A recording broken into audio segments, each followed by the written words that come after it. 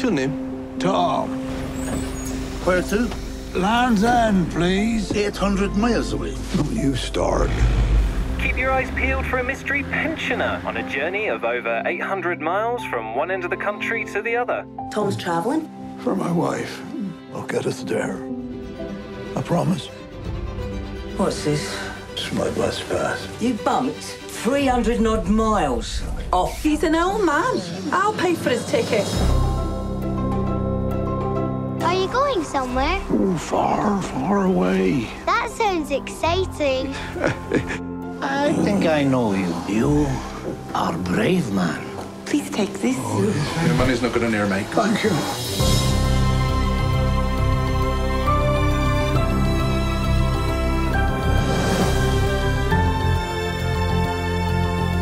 You don't have to do this. Yes, I do. I love you, Tom.